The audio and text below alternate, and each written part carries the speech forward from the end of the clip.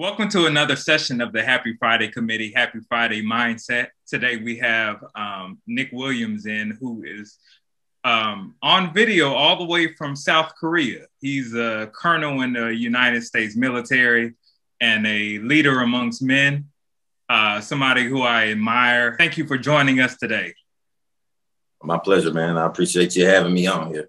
Yes, yes. I wanted to get your um, perspective on the Happy Friday mindset, dealing with these uh, principles, being fearless, resilient, intuitive, determined, appreciative, and youthful.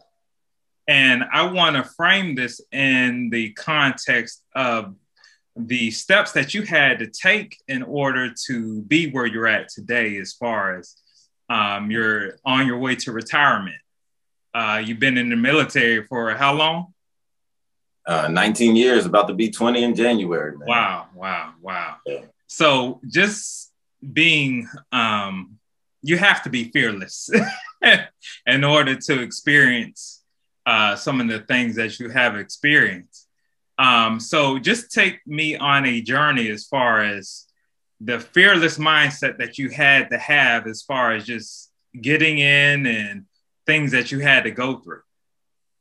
Okay, well, um, I would say first off, um, just to be more specific, I'm a lieutenant colonel in the uh, in the army. I don't want to be faking the funk like I'm a like I'm a 06 colonel. Yes, sir. Yes. yeah. Just to get that part. So I'm a lieutenant colonel. Um, but yeah, man. So as, as far as being fearless, um, I, I can just start by saying that you know everybody has fear right? Something that it's it's a natural feeling that people have. And um, what i like to do is i like to take that and use it for my benefit right? So um, i use fear as fuel right? So there's been plenty of times um, in my life in the military and outside that there's been something that that i've had some sort of um, anxiety about or fear about um, going into whether it's like some sort of military training, whether it's going to war, whether it's coming coming back from war, whether it's you know um, pursuing um, different type of uh, relationships, you know, getting married. Some of those things can be like scary, or at least you know, it's the you know a lot of time it's the fear of the unknown. Um, but I take that and I use it as fuel, right? So I take my fear and turn it into fuel and use it to fuel me um, to learn more about and to prepare myself for whatever that situation may be. So um, let's say that um, when I first came into the military, you know, a lot of times for us, um, uh, and this is a big issue in the military, a lot of um, Black people don't volunteer to go into combat arms like the infantry, armor, and so on and so forth. And uh, I am, you know, definitely like most Black people, I didn't volunteer for that because I think a lot of times uh, we, we, it's hard enough being a Black man in America already, right? We ain't signing up to the military to go yes, somewhere. Yes. you know, and, and make it harder on ourselves, right? And a lot of black people, I think, and I'm, I'm speaking from my own experience, and, and so this is my opinion, this is Nic Williams' opinion. Uh, I think a lot of black people, when we join the military, we're thinking life after the military, right? So we want to get a job that can produce some sort of um, benefits for us after we leave, right? So we want to go and maybe be an engineer in the military. We want to do, um, you know, human resources in the military because we know that once we leave the military, uh, you know, if we don't plan on staying that entire time, that that produces a job outside. It translates to money in the civilian world. And so being an infantryman or being a tanker, that's not necessarily true, right? So if you're an infantryman in the military for let's just say 20 years or five, let's say you for five years or four years, you do your first enlistment and then you get out. Like what what skills do that does that translate into in the civilian world? What can you yes, be? Sir. You know I mean? Like uh, you can maybe you can be a security guard, maybe you can be a, a, military contractor and go back to war overseas, something like that. But if you want to do that, you should probably could have just stayed in the military, right? If you were a tank driver, if you're a tanker, where what is the the civilian equivalent job to that? There wow. is none, right? Wow. Right. So a lot of us, we're thinking, you know, it's not that it's definitely not the fact that uh, black people aren't brave and black people aren't capable. It's it's just that we're thinking about other things, right? Yeah, yeah, we're yeah. Thinking, in the big scheme of things, right? So um, to get back to my point, um, I think you you when you go into ROTC, you can put down on a sheet of paper your top three jobs that you want in the army. and based on how you perform and what's going on and the needs of the army, they choose what job. You know, they choose a job for you, right? um, out of your top three generally.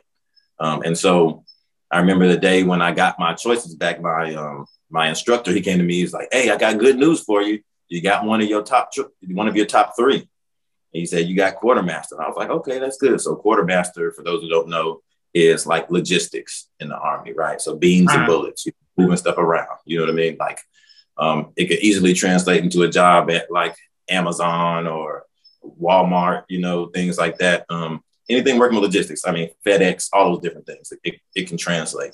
Yes, so I was like, okay, that sounds good to me. And he said, but um, before you do that, you have what we call a branch detail to the infantry. So that means that you're going to go spend a certain amount of time in the infantry before you get to transfer over to that other job. Yes, sir. I didn't like that. You know what I mean? But you know, with the military, it, it does. You know, it, it, it doesn't matter what you like, right? You got to do, you sign the paper, so you got to go do what, what you're told to do, right? Yes, sir. And so I, a lot of um, uh, anxiety and, you know, um, I really didn't know what to expect going into infantry school, right? Yes, sir. And just like, just like um, the statistics show, when I got there, there was 200 lieutenants, and out of the 200, about 20 were like black and or brown guys, so other than white. Yes, so out of 220 of us. And um, you know, we we learn in ROTC, you learn basic infantry tactics, but this is, you know, on another level. And yes, you know, let's also let's go back and say when I was in ROTC, one day I was coming back um, from PT and I look on TV and there's this crazy movie on that uh, showed some planes crashing into some buildings in New York. Wow. I was like, man, this movie's crazy. Oh um, man. and that, that changed the whole. I was in ROTC before that, but that changed everything. It went from yes, being like, it went from like playing soldier to like you know that when you graduate, it's it's on. Yes, right. Sir. Yes, sir. And, and, so when I went into infantry, when I went into infantry school, that was the direct pipeline to Afghan and Iraq. Yes, Afghanistan, sir. Iraq, right? So um, when we were in infantry school, they'd be like, "Hey, you know, remember Lieutenant, remember Lieutenant uh, Lindsay, who was uh, you know, in second platoon in the class before you? Yes, sir. Uh, yeah, like, yeah, he dead. You know what I mean? So y'all keep playing around out here thinking it's a game. You know, y'all going straight from here to your unit or or to Ranger School, Airborne School, and then you're going to Iraq or Afghanistan. And that was like those, those are the facts, right? And so you can imagine there was a lot of um, anxiety when it came to you know being able to perform there, and then also you know what's what was going to be my follow on assignment. Yes, sir. Yes, sir.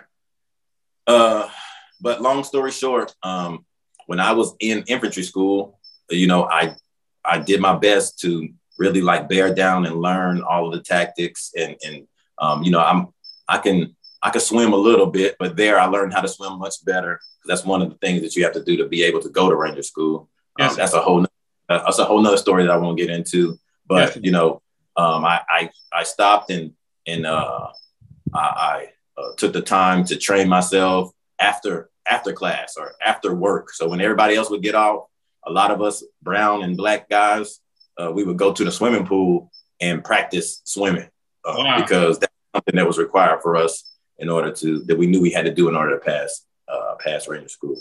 Um, you know, I, I um I volunteered to go to um, to airborne school. Mm. Then I started looking up all the things and learning more about what it was uh, like, uh, what it was like and what was required to do um, to do a, a, static line jump out of an aircraft, you know. And so uh, I basically immersed myself in that life so that when I when it was time for me to go, I felt much more um, safe. And so to to bring it all back is I, I use that fuel to I mean I use that fear correction I use that fear as fuel to get me through those um, situations and to push me to learn more about whatever it was I was scared of did you have any uh, setbacks along the way? And this is leading into being resilient. Any setbacks along the way as far as um, what you experience, uh, especially being in a war zone? Um, what made you get up every day and face your fears? Mm-hmm. Well, man, I I had many, many, many setbacks, many setbacks. Um, uh, one of the ones was, like I said, I, I mentioned uh, Ranger School, right? So I failed. I failed out of Ranger School, um, and and if you know, it was on the swim test, right? So yes. one of the tests, that, one of the tests you have to do in order to um, pass Ranger School on the first day, you got to go in like at two in the morning. You have to they do an inventory of all your stuff. It's really like you know a high pressure situation. Um, once uh, you get all your stuff, make they make sure you have all your stuff. You go do a PT test. After you do the PT test, you do a five mile run.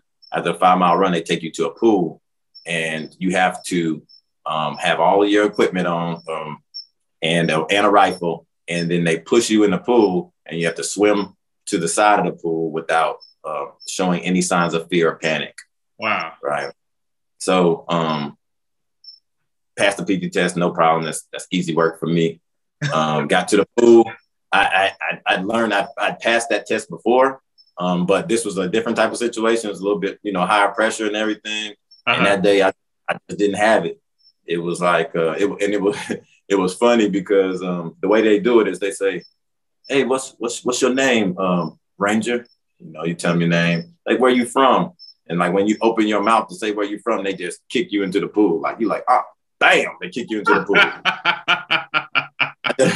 I just remember like I remember thinking all the way to the bottom of the pool, like uh, you you've seen um the movie uh, Get Out. Yeah, yeah, yeah, yeah. So on Get Out, when he was going to the sunken place and he was just falling back. Yeah, like yeah, yeah, yeah, yeah, yeah. That was yeah. falling into the. I went all the way to the bottom, man, and wow. um, I remember I got to the bottom of the pool, had my rifle. I'm just walking on the bottom of the pool, like, wow. I'm just least go as far as I can. Uh, you know, walking at the bottom before I come up. yeah, yeah, yeah, yeah, yeah.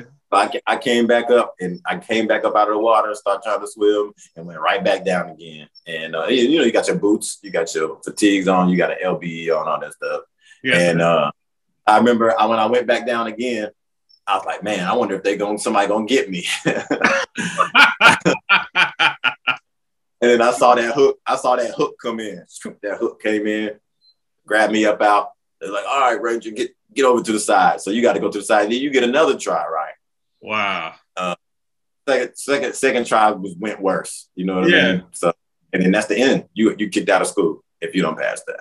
Wow. Um, and so uh, the crazy thing about it is, so there was a there was a, another dude there, a white guy. Maybe that's significant. Maybe it's not.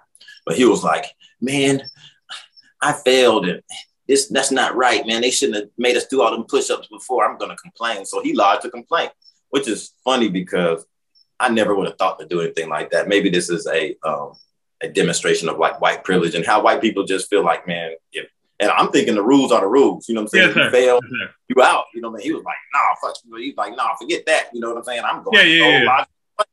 He lodged a complaint. And so like we were all I had already packed up all my stuff and everything, getting ready to go. At least I'm just like, you know, I'm kind of over it. Like uh-huh. got a little sense, got a sense of relief you know what I mean? Like, well, oh well, I guess I just got to go back and train again and come back. Uh-huh. And uh, the, the instructors come in and they like, hey, since this uh, you know this asshole over here went and complained, said we made y'all, uh, we smoked y'all too much before you got in the pool. Everybody has to test again. Wow, wow. So I had to go back, fail two more times. I didn't get no better. You know what I'm saying? I didn't get no better. But it was even, you know, I don't think I did. I think I did even worse on the next two times, right? Wow. And so this is the beginning of my army career. You know what I mean? Yeah, um, yeah So it's not starting very well. So um, how does that how does that help you as far as like being in the military and what I was what?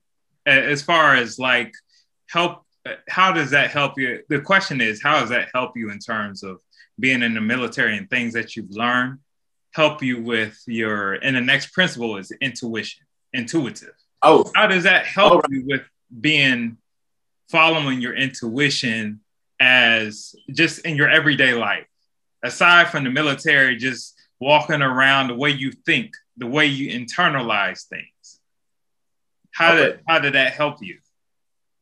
So, first of all, if I could if I could go back, so to to to put a bow on the whole thing. Okay. Like it, eventually you have to come back and you have to talk to people and tell them what you're going to do in order to make yourself better so that next time you go you don't you don't fail again okay um, and so you, you have to stand up in front of people and, and say this right so that's one of the things where they they make you resilient right they okay. force you in order to um dim, to either demonstrate your resilience or not right and mm-hmm. so after you fail Ranger School you have to go in front of your commander and the sergeant major and they're going to say they say, "Do you want to go back?" And there's only one right answer, right? You know what yeah. I mean? In order to demonstrate your resilience, right? And you got to say, uh-huh. "Yes, I want." To what are you going to do to make sure that the same thing doesn't happen when you go back? And then you have to come up with your training plan for yourself um, and tell them, you know, exactly what you're going to do. And so that's what I did. I came out like, yeah, I, I want to go back and I'm going to go to the pool every day um, and and train my, my butt off to make sure that when the next time I get in that pool, I can pass the test. Uh-huh. Um, there were some more events that happened that I didn't have any control of, and I wasn't able to go. but I, I, was ready to do that, and um, that's just you know my career starting off like that with a couple of you know failures um, and things that could have you know made me feel like I was lesser of, of a soldier I didn't yeah. let those things. I let them fuel me um, in the future, you know, to prove myself um, as a competent soldier, even though I didn't have a ranger tab. Yes, sir. Yes, sir. Yes, sir. Yes, sir. Mm-hmm. That's that. Um, so yeah, the, so the question was, as far as like just you being a soldier and you know that playing a part in your everyday life, just in your personality and everything, because I know it it's like fusion of being a soldier and the way you think, the way you internalize things. Um, mm-hmm. How does that work with your intuition? Okay. Well, I think my intuition helps me a lot in being a leader, um, a lot with just being emotionally intelligent and being able to lead a, uh, a diverse group of soldiers. Um, in my own personal philosophy of leadership, I don't I don't treat everybody the same, right? Um, you have to take bodies some people think treating everybody the same is good, and I'm not. I'm not a believer of that. Right? You have to treat everybody with equity, right? Yeah. But some people, some people need something different from their leader. Some people may need their leader to kick them in the butt. Yes, some sir. people, some people may um, need their leader to pat them on the back. Yes, you know sir. what I mean? So I pride myself in being intuitive and being able to look at people and determine, you know, the right time and the right way to to lead them um, through, you know, through their failures and through also to encourage them after their their victories. You know, so um, I think if you go and go go back and talk to some of the soldiers that that I've led over the years, they would say that, oh yeah, he was a pretty good leader. And I think that my um, emotional intelligence and um, my intuition what has you know helped me in, in being that type of leader. Excellent, excellent. Uh, going into the next principle, which is determination, how does that help you and how do you remain determined uh, seeing this is your all your retirement year or coming up on your mm-hmm. retirement year. How did how did you remain determined? Oh i'm determined to retire. You know what i mean?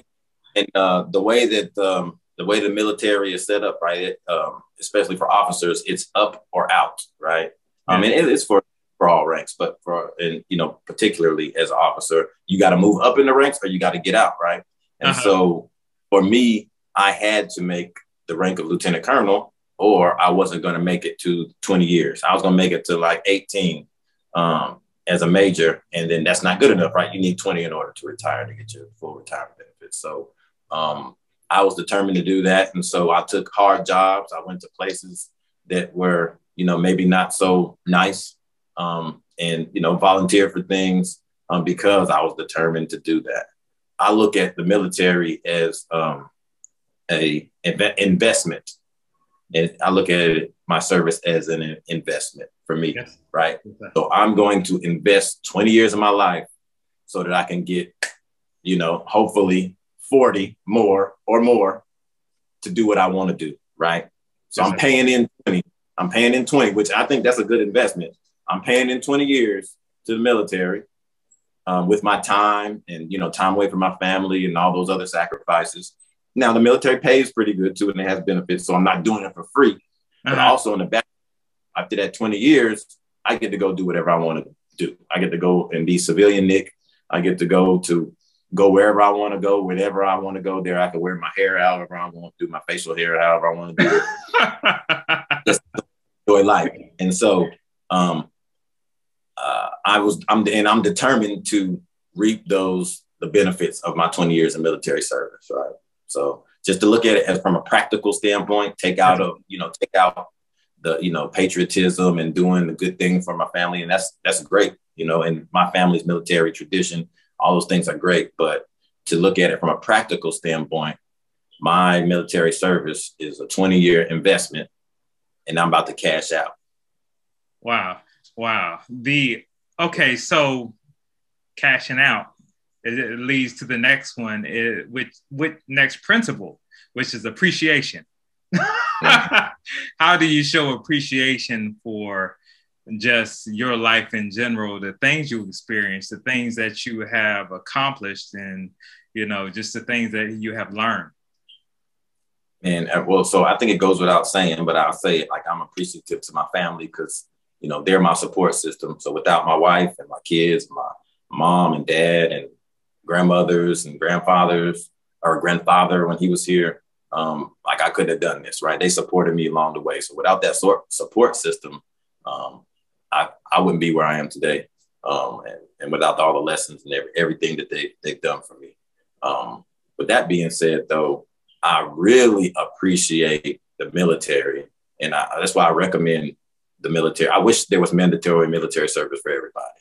And, yes, and for me, it's not about patriotism, but I think that what what some of us lack as far as discipline and like how to live um, efficiently, and um, I, I think the military gets you some of those things, can give you a lot of those things. They teach you how to budget, and they teach you how to plan. Um, um, they teach you, you know, how to be responsible. They make you um, have to be physical fit, physically fit. So all those things, you have to work them into your life. And so by the time you leave the military, whether it's after four years or after 20 years, those things are uh, uh, ingrained into who you are. And so I really appreciate that about the military because when I look out, when I look out here in the real world, man, the civilian world, I feel like a lot of people out here just living willy nilly. You know what I'm saying? Yes, they just like, Absolutely. you know what I'm saying? They like feather in the wood or feather in the wind, you know, but I plan everything. I'm a meticulous planner. And guess what? When you plan stuff, um, some people say like when you plan, God laughs at you, right? Yes. I don't think that's true. when he plans, when you plan, God is like, okay, I see you. All right, okay, you got some plans. Okay. now don't now don't get it twisted though. After you make your plans, uh, there's a saying in the military that no no plan survives first enemy contact. Right. Mm-hmm. So once once you get come in contact with the enemy, your plan starts to change, and that's okay. Right. And so that's what people got to realize is like once you can make plans, but something always goes wrong. You just got to adjust plan. You just your plan a little bit to the left. Yes, yes, make a little bit to the left, uh, a little bit to the right. Right. Yes, There's no reason because you know that your, your plan is not going to turn out perfect. Is not a reason not to plan. Right. Yes, so I, I I love the way the military teach you how to backwards plan. You get your goal or whatever it is, your mission that you're trying to accomplish, and you start at the end. Yes, and sir. you say, okay, I want to let's just say I want to go to Africa on vacation. Let's just say it's vacation. I want to go to Africa on vacation. Okay. Uh, that is the end that I want to get to. Now, what are all the things that I got to do to make sure that happens? Oh, I need money. How much does it cost? Okay, it costs, you know, just say uh, a thousand dollars. It costs more than that, right? But it costs a thousand dollars. Um, how much time do I have? So I have 12 months to get a thousand dollars. That means I need to save this amount of money per month, right? In order yes, to get there. What are the things that are required? What is the equipment that's required for me to travel to Africa? Oh, I should have a safari hat. I should have some sunglasses. I need to make a list of equipment that I need to take with me so that when I get there, I don't need these things. Um, yes. How am I going to? Get there? Um, I'm going to take a taxi to uh, to the airport and take the take the plane to Africa. When I get off in Ghana, I'm going to take a taxi to my, you know, all those things, the logistics of it all. Yes, sir. That's second nature to me. It's easy, and I I like doing it. You know yes, what I mean? Sir. Yes, sir. Every time I make plans like that, something happens. You know, oh man, I missed the, or you know, I mean, plane, the plane broke down. I, I ain't missing no plane, but you know, the plane broke down, or the other connecting flight was late, so you missed the plane. Those things happen. But if you have a framework, it's easy to you know jump jump off and then jump back into your plan. So something bad happens, you know where you can jump off and jump back into your plan. You have to, you know, you have to plan. You have to plan in life, man. If you if you're not planning, and you have to plan your life on that detail it, that was just a, a, vacation. You have to have like a five year plan. Where do you want to be in five years? Oh, I want to be the the manager of my section at work. What does it require? Oh, it requires a certain level of education.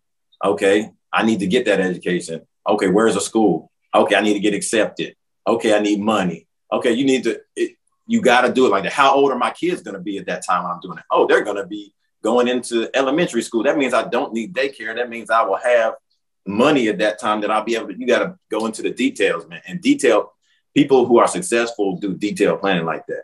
Absolutely. And I can promise, I can promise you, you guaranteed to be, um, not to be successful. Okay. You're guaranteed to fail a lot if you don't plan. Absolutely. So that's Absolutely. what I appreciate about the military. Absolutely. Uh, as far as uh, being youthful, I know you're a world traveler.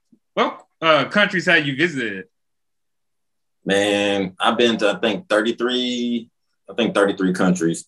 But excuse me, just to name a few, I go um, starting over here, South Korea, Japan, um, Vietnam, the Philippines, um, Afghanistan, Iraq, Kuwait, Qatar, um, Germany, France, um, Switzerland, Sweden, Denmark, Russia, um, uh, Liechtenstein, um, Luxembourg, um, Spain, um, Malta, Morocco, and more.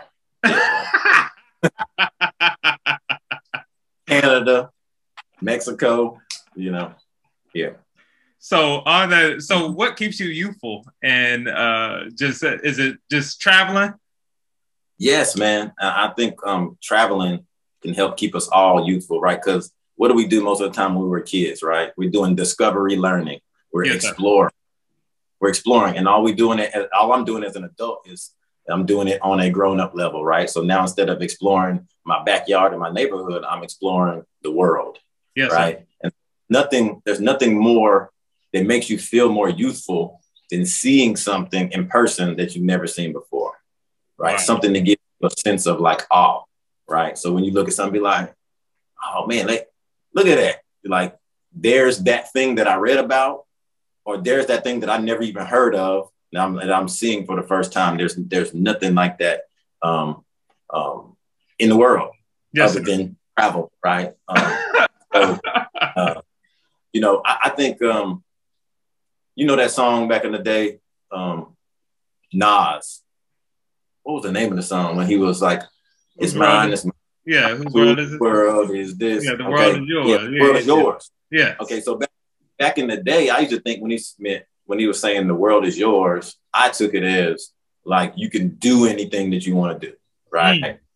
Like, like you could do anything you want to do. The world is your oyster, as some people say. Um, but now I look at it from a slightly different standpoint. I look at it as like the world is actually yours. Like wow. you are a you are a citizen of the world. Absolutely. You know Absolutely. Right. The whole world belongs to you. Like, so if you are just spending your time on earth just in America, it's like you have a mansion and you just stay in the basement the whole time. Wow. Wow. You know what I'm saying? Wow. The whole world, the whole world belongs to you. Or like, let's not say, I ain't trying to say America's a basement. Let's say you stay in the living room. yes, sir. All right. Right. The living room where all the entertainment is, you know, where the TV is. Yeah, yeah, yeah. You know, uh, where the Nintendo is and all whatever it is you like to play you spend all your time in the living room, but you got a, you know, a, a 15 room mansion and you spend only, you only spend time in the living room. The world is yours, man.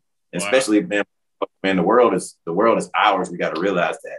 And so go around the world, explore, you know, feel youthful while you're out there doing it. I mean, I'm telling you, like, there's nothing like it. That's why I try to encourage you and all my other um, brothers to come see me whenever I'm anywhere. Yes, sir. I, yes, sir. The open invitation. When I was in Germany, when I was in Hawaii, Yes. And I was, when I'm here, you know, I'm always like, oh, y'all, hey, y'all come visit. Y'all got a place to stay.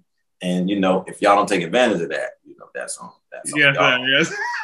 but, but there's there's nothing there's nothing better than um, seeing a new place and traveling the world with people that you love, man. Yes, sir. People that you love. So my boys, my family. Yeah, I'm doing it with my family. We do it. That's automatic. So I, I get I get enough of that to sustain me. But the only thing that would be icing on the cake is if my boys would come out and travel with me and we Yes, go sir. see these things. Yes, sir. Yeah. We're coming. We're coming. We're coming. Oh, I hear I hear you talking. so uh so out of all these principles being fearless resilient intuitive determined appreciative and youthful what principle sticks out to you the most and why man, man, they all are so um, key to having a happy life, right? Yes. Um, and they they're all key in being successful. But I would go with youthful, man, and travel because, uh, and I'm tying travel to being youthful, right? Because sir. there's no better teacher of Mm. all these different. You know what I mean? You when I when I was in different countries, that's when I had to be my most resilient. You know, when I was in different countries, that's when I had to use my intuition the most Mm. when I'm in other traveling, that's where I feel my most youthful. You know what I mean? And and you can go down the list. Mhm. Um, it's just that experience of traveling is nothing like it, man. Like I think I told this to you before, is you cannot know who you truly are unless you travel the world. You don't know sir. who you are. You don't know who you are. yes sir And I, I I give you an example. If you took a baby, right? a uh-huh little baby, put it in a room with four walls and you know four stark white walls. Just put the baby in the room, and the baby grew up in that room, didn't see and never saw another person.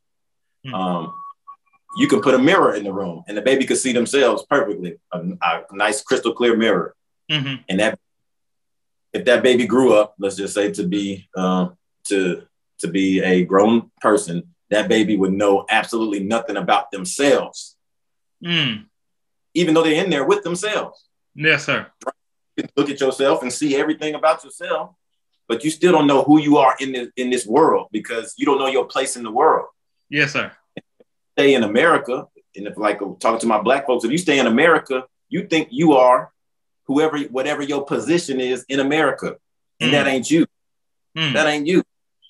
You might be, and let's take it to just something like that you can't control. And let's not talk about race right now. Talk about let's say your height. Mhm. you might be five seven dude, right? And you walking around America like, man, everybody calling me short. You know what I mean? I'm a Yes, short sir. guy, yes sir right? And then oh, you get on a plane and you go to the Philippines, and now you you just as tall or taller than most people there. yes sir yes sir yes so sir you going around your whole life thinking you're short, and you're not short. yes you sir actually over here, you an average height guy. yes sir Let's say you live in America, and everybody's like, oh man, you you black and you ugly. You know what yes I mean? sir yes sir you get on a plane and you go over to uh, Nigeria or someplace, everybody looks like you and you black and beautiful. yes You sir know what yes sir yes I sir mean? You stay in America and you at the at amongst the bottom of the totem pole in, in America's society, right? As a black person, yes sir right? But then you go to another country, plenty of other countries where they admire black people from Yes, sir. America, black Americans. yes right? sir We're special, right? We're special people. yes so sir they look at black Americans like we you not like we're similar, but we're not the same. They're like, oh, you a black American. Y'all do everything. yes y'all sir make- yes sir Y'all, y'all run the world. yeah You know yeah, yeah. Y'all make all the music. Y'all make all the fashion. You know what I mean? Y'all make, you know, all the my favorite athletes are black. You know what I mean? yes black yes, American. sir. Um you have to travel to know who you who you really truly are. yes That's what I'm that's what I'm trying to get to. So if you just stay in your bubble in America, that's not you, you ain't man. gonna know you ain't gonna know You ain't gonna know. Yes, sir. Yeah. Yes, sir. Yes, sir. Well, Yeah. um, thank you again for coming on and doing this interview. Um, we'll talk offline, but yeah, definitely. Thank you for coming on and uh, doing this interview with us. I know this is going to help out a whole lot of people. Um, so thank you. Yeah, man. Hey, I appreciate you inviting me on here to do this. You know, I'm you know, some people don't believe it, but I I rather play the background. You know what I mean? Yes, sir. Uh, one in the back making moves, man. But I like what you're doing on here, man. I think it's a great, great thing that you're doing. I think that it was an awesome idea, and I'm just happy to be a part of it, man. So I appreciate, appreciate it. Appreciate it.